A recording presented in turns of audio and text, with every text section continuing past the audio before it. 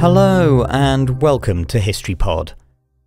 On the 17th of August 1807, the world's first successful commercial steamboat service began on the Hudson River between New York and Albany.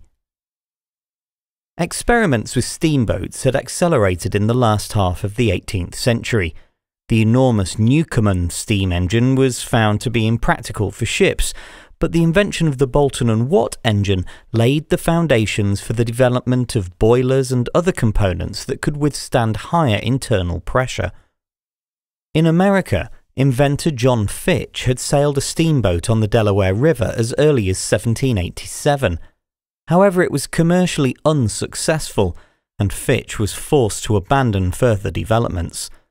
Meanwhile, European improvements to steamship design led to the launch of the Charlotte Dundas in 1803, which was successfully tested on the Forth and Clyde Canal in Scotland.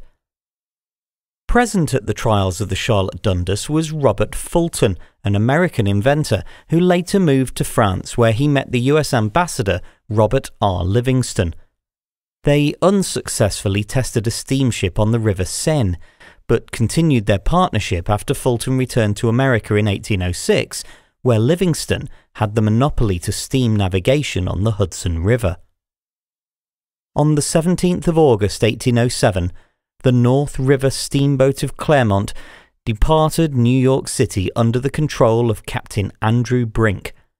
The ship could carry up to a hundred passengers and was able to complete the 150 mile trip in 32 hours. This was a dramatic improvement over regular sailing ships that might take almost four days to complete the same journey.